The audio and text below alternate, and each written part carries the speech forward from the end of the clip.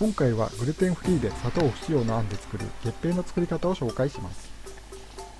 生地は米粉を使用しあんは砂糖の甘さ1.25倍あるドライフルーツのデーツを使って作ります。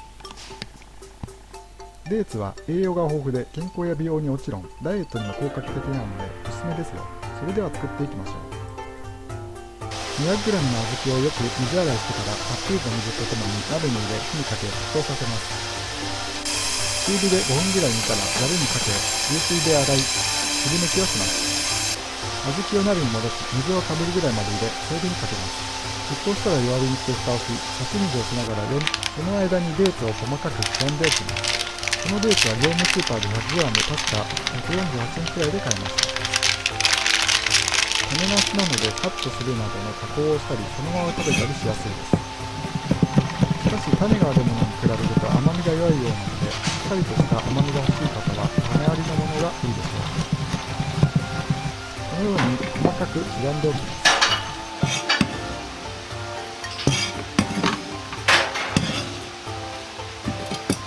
40分くらいしたらレーツを加え優しく混ぜ蓋をして10分くらい煮ます。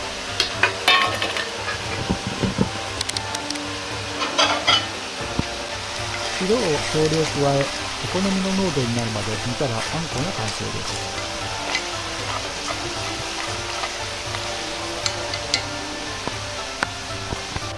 生地を作ります。米粉 130g にベーキングパウダーを 3g 入れます。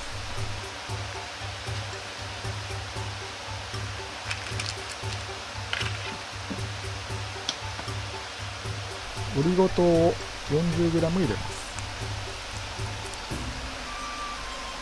甘味料は他に黒糖などお好みで入れてください。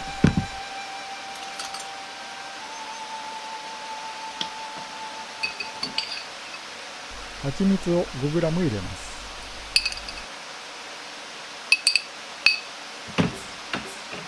卵を2分の1個入れます。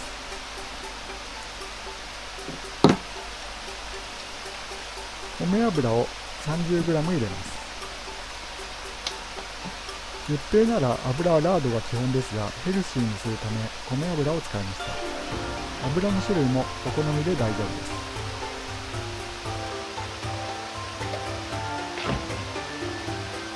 あとはこれをただ混ぜ合わせて一つにまとめるだけです。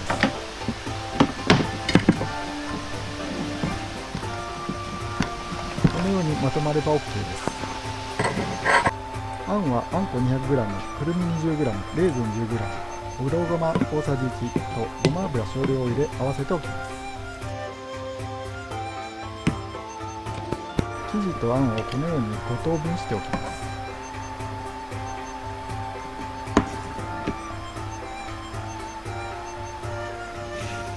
ラップの上に薄く広げた生地を乗せその上にあんを乗せ包んでいきます。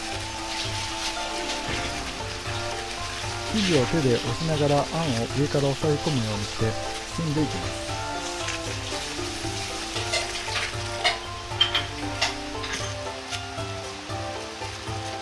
そしてラップの足を引っ張りながら巾着のようにして生地を伸ばして包んでいきます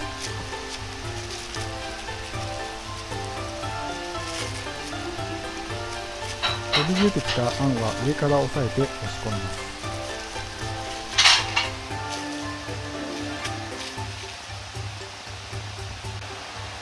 型を用意して模様をつけていきます。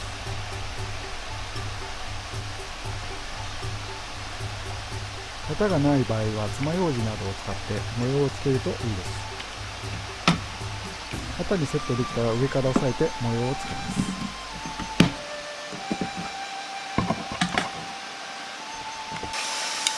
型抜きができたら焼き色をつけるため卵液を塗り180度のオーブンで20分焼きます。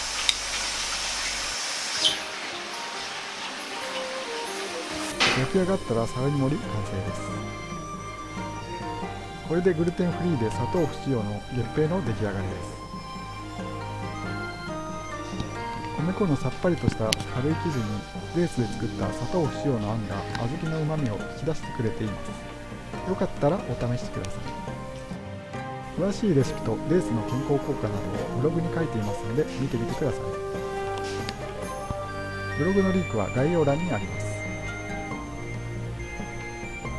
このチャンネルでは簡単なまかない料理や本格的な中華料理の作り方を紹介しています。よかったら高評価とチャンネル登録をお願いします。リクエストなどがありましたらコメント欄にお願いします。